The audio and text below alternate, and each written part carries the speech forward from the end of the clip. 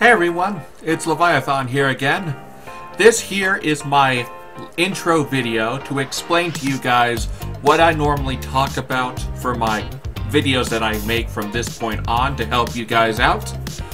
My Leviathan universe is very prodigious. I have 15,000 plus characters and creatures that are accounted for as compared to the infinite number in this infinite onion of a multiverse. The five main heroes are notably the five most focused characters in my Leviathan universe. There's Madam Shear, founder and owner of Blader Tech Industries. There's Denstrony, who's the biological granddaughter of Satana, founder and ruler of Tartarus. And she herself is also um, the director of the Paranormal Defense. Vim is a Lunarian, which is an alien species that's currently endangered after their homestar exploded. Um, is the uh, the granddaughter of Goddess, who is the founder and leader of the Alpha Gods and creator of the Cosmos. Kalasa herself has infinite growing capacity, can shoot nuclear beams from her hands, can break the fourth wall, and other powers. And Kaijiricus is Queen of the Mutants, who's basically a woman who was mutated into a giant reptilian kaiju woman, who now protects people from kaiju-based threats. I have all of this elaborate information I could, could tell you and such because they are all really impressive and I really recommend that you gotta check these stuff out because it it will blow you away and you know who Stan Lee is? Stan Lee, the guy who created Spider-Man, the Fantastic Four, the X-Men, the Avengers and all that stuff. I am planning to be as blessed as he was. And I really hope that this is the right reality. And if you guys want, I really hope that I could be able to succeed with my creations. Yeah, so basically it's really impressive stuff, and I made all of them, and I have to make it up to them, you know, because I made them exist, and I have to make it worth it for them. And if you guys want, you could like, subscribe, comment down below, and share if you want. You know how it is. And I hope you guys have a decent understanding. I hope you guys enjoy the video. Enjoy.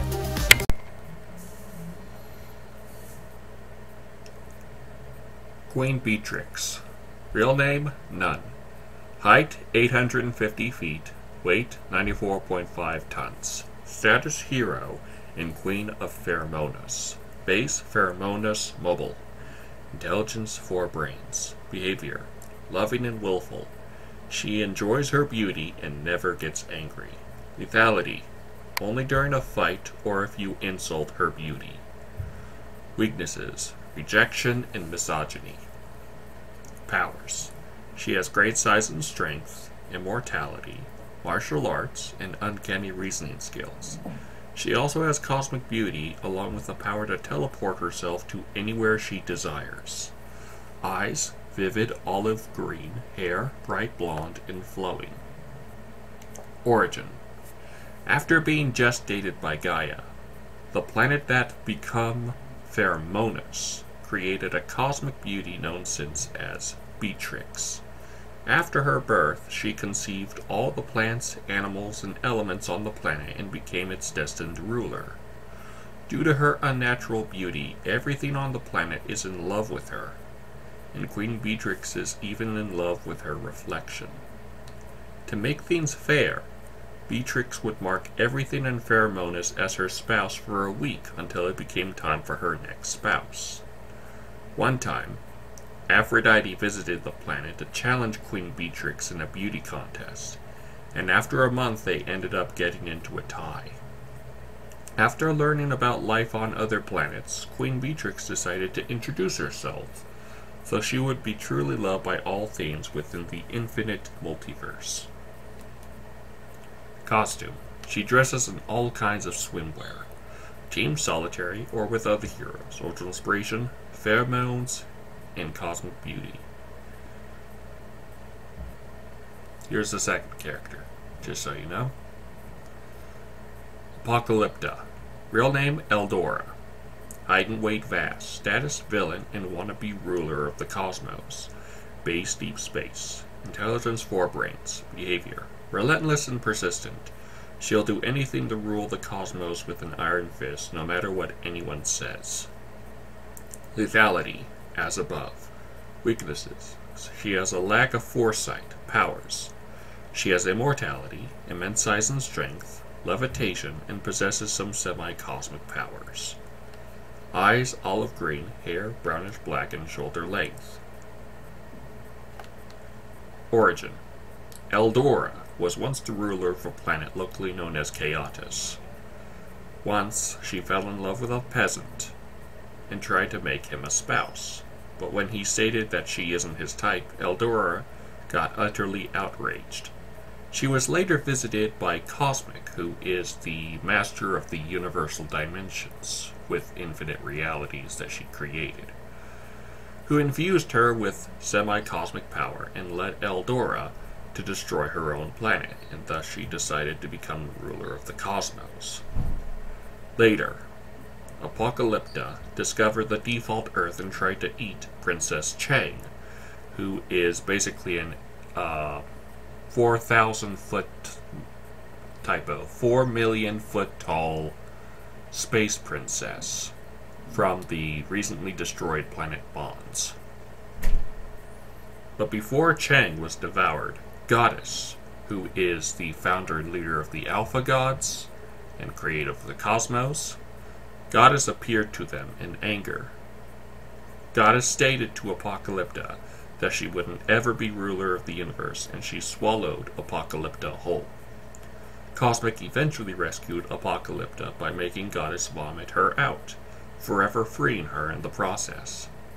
Costume She wears a silver and blue royal dress. Team Solitary leads the Queens of Chaos, which is a team involving villainous queens, and other villains. Order Inspiration, Space Queens. And just so you know, when I mentioned Aphrodite and Queen Beatrix's story, she's the goddess of love and beauty, you know, who's basically a woman so beautiful that she was basically anointed as a goddess by the Alpha gods. She was literally born that attractive. Here's the last character, just so you know. Mighty Meg. Real name, Megan Champ. Height and weight utterly increasing. Status villain An universal abomination. Base her subatomic lair. Intelligence 3.5 brains. Behavior snarky and relentless. She enjoys spreading chaos. Lethality highly deadly to all those in her surroundings. Weaknesses her greatest power is also her greatest weakness. Powers she has the uncanny ability to expand to infinite levels, even to outgrow the Aniverse, which is basically both sides of the fourth wall, just so you know. She also has the unbearably strong urge to completely destroy and kill all that are in her sight. Eyes bright blue, hair bright blonde and short. Origin In the altered dimension, Megan Champ was a young high school graduate who wanted to become the center of attention. One day, Megan was captured by a native supervillain known as Stratogirl, who turned her into a forever growing abomination known to this day as the chaotic Mighty Meg. Since then, she will do all that's necessary to destroy everything and everyone in her sight, and she would grow so huge that the sleeping verse would be a speck of dust by comparison. Just so you know, verse is basically the uh, mother of Aniverse, who is the keeper of the Aniverse, and Verse is permanently asleep.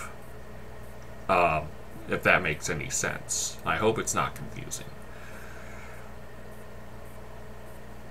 Okay, Mighty Meg also resides in the only place where she's unable to grow, which is literally in a subatomic container that travels across time and space, only stopping to the next place for her to destroy.